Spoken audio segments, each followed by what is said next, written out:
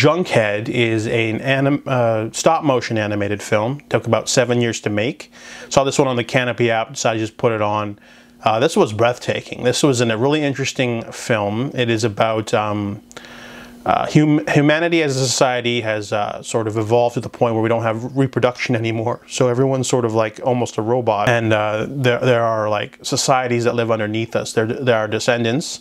Um, some of them are called Merrigans. And uh, we're following a broken body fall, uh, falling down a shaft. And um, for all, all our purposes, we'll call him Junkers because that's what they call him in the movie. Junkers is a robot head and they bring him back to life in a smaller body.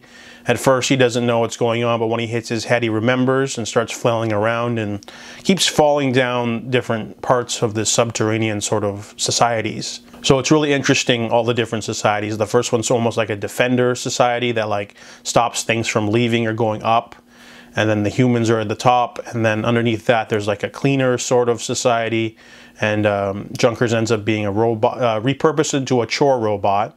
Uh, probably the highlight of the film because he can't speak and he's like going through all these different little like tasks and weird.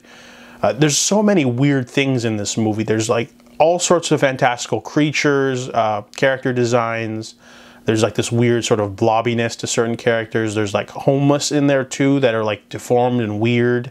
There's cr terrifying creatures. Uh, it's very realized. There's like a couple of violent moments too that are really shocking, even for me, even though it's like stop motion.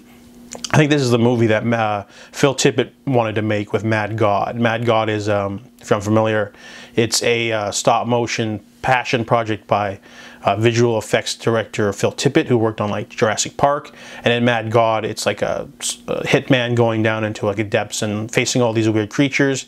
But uh, he filmed it over like 25 years with volunteers and added some live action in there. And it doesn't quite work all the way. But um, Junkhead is just like a blast. It, it, just keeps going. It might be a little bit on the long side. It's almost two, uh, hour 45 and um, it feels a little bit saggy near the end.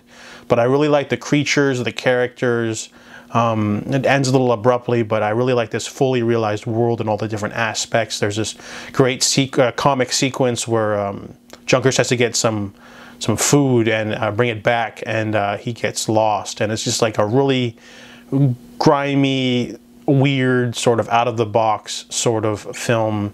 I really like this one and I give it an 8.5 out of 10.